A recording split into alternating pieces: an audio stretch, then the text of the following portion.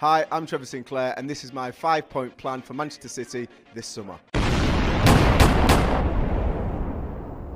Five, get Erling Haaland up and running. Get him in the starting lineup. First game of the season against West Ham, which is hard for me to say because obviously I love West Ham as well. Get him opportunities and let's see what he can do in the Premier League. Number four, get Kalvin Phillips over the line. Get him into the club. Let him have a full pre-season. Missed a lot of games last season. I'd like to see him fit and back to his 21-22 season, which was very disappointing. Three, let's get the best out of the one and only Jack Grealish. Went to watch him about six, seven years ago in the under-21s. He's the most impressive player on the pitch. He's had a great time since then. Last season, we didn't see the best of him. Let's get him on the pitch and let's start seeing the best of Jack Grealish. Two, keep Raheem Sterling. I can't emphasise how important he is, not just to Manchester City, but to England. Keeping him at Manchester City, for me, is a massive, massive must.